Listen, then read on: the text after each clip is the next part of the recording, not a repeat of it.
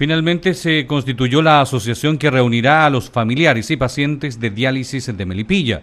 La actividad se llevó a cabo en el gimnasio interior del municipio melipillano, hasta donde llegó un centenar de personas para ser parte de esta iniciativa. Miguel González, quien resultó elegido presidente, señaló que el principal problema es la falta de especialistas. El problema de los pacientes de diálisis ha crecido mucho en la, ciudad.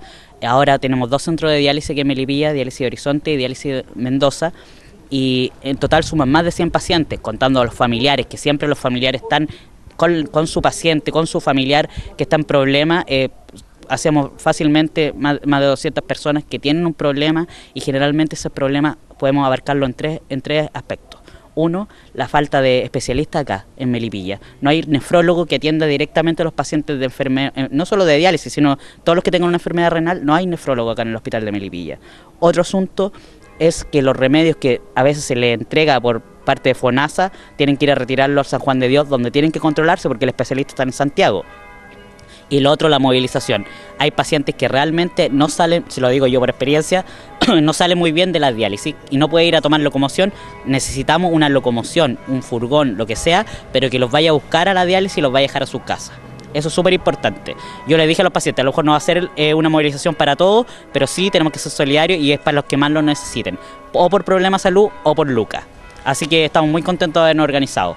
Muchos de los pacientes que se dializan no pudieron asistir, pero serán contactados para que también se unan a esta iniciativa. Mira, ahora eh, se inscribieron eh, más de 40 personas para, para, empezar. Como les digo, muchos pacientes por su estado de salud no pudieron venir hoy, pero eh, van a empezar a mandar a un familiar que lo apoya siempre y lo acompaña para que ellos lo representen. Hay muchos pacientes, la directiva está encabezada de cinco miembros, cuatro son pacientes, entonces estamos muy contentos, pero también contamos con el apoyo de los familiares que se la han jugado siempre por su por su familiar enfermo y ahora se las quieren jugar por la agrupación que estamos llevando a cabo.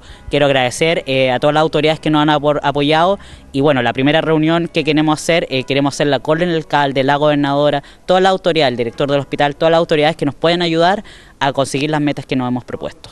A esta reunión también llegaron pacientes provenientes de las comunas de Alhué y San Pedro. Sí, lo que pasa es que por la distancia, la diálisis de Melipilla, la diálisis de Horizonte y Mendoza, eh, abarcan eh, como cobertura a gente que es de la comuna aledaña a la comuna de Melipilla, San Pedro, Alhué, María Pinto, etcétera.